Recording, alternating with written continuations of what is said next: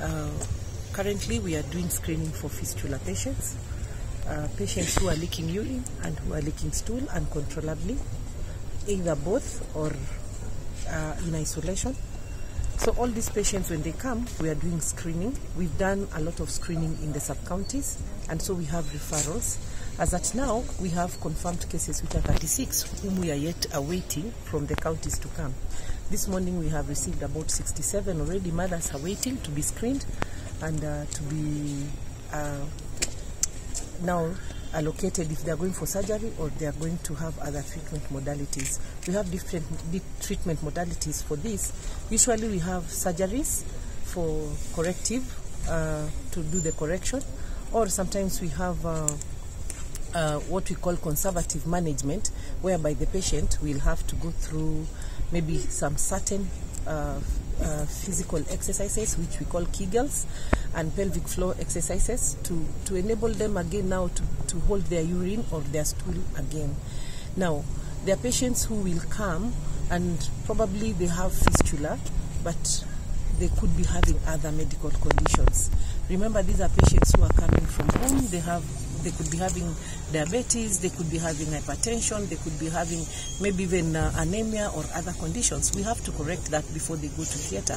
So, in a nutshell, what am I saying? These patients, we have to look at them wholesomely and try to sort them also wholesomely. Uh, I'd just like to confirm that uh, in terms of preparedness for the patients, we are up to task. We have the commodities that we need, the pharmaceutical commodities, non-pharmaceutical commodities. Our theaters are ready. Uh, we have enough space uh, in uh, different wards within the hospital to be able to accommodate these patients adequately and provide for even food that they need during the, their stay in the hospital. So I'd just also like to extend my appreciation to everyone who has come to ensure that this particular activity uh, is a success from the, the county government of Migori, the office of the First Lady, the First Lady herself, Uh, and everyone else who has come on. So thanks a lot.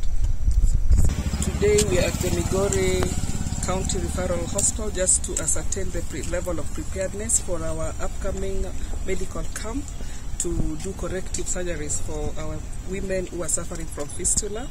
Fistula is a disease that robs our mothers of their dignity and hope, and when they don't have the two, then they are not able to thrive in the society. They are not able to take care of their families well. They are not able to move around. They are not able to carry out any economic activity because even if it is business, nobody will buy anything from a lady who, ha- who is uh, who has a stench that she cannot control because this is a disease.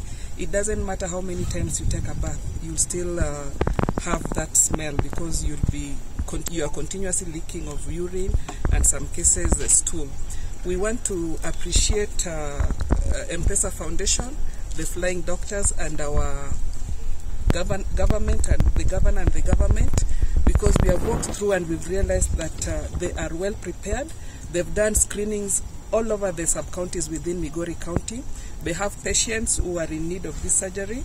We are also asking those who are still at home and would, would uh, want to take advantage of this uh, gesture from M-Pesa and Flying Doctors to please come forth because you don't choose to get this disease. This disease arises when the woman is undertaking or carrying out their normal duty of giving birth to a child.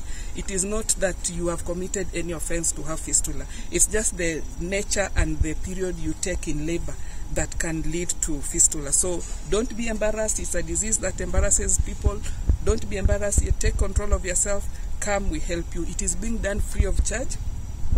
Wherever you are, we will come for you. We will pick you. You will not pay for anything. We are going to give you uh, the medication, the surgery, and as the nurse has said, not all of them will undergo surgery. Some of them they'll be addressed through physiotherapy uh, processes that will make them heal. So we are very grateful. The medications, the equipments required are all already in place. We've confirmed the beds are ready, waiting for the patients. So please come forward and uh, let's get assistance.